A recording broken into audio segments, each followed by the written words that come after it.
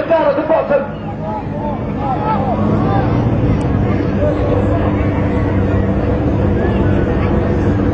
Good afternoon, everybody. Please to stay stationary while the gear is making their way down to the bottom.